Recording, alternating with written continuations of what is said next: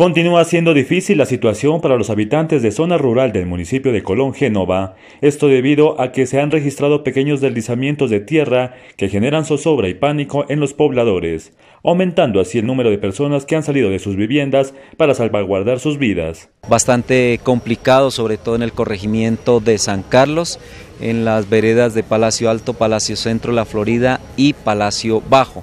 Eh, también la vereda de la Cuesta son veredas que han tenido bastantes afectaciones en, el tema de deslizamientos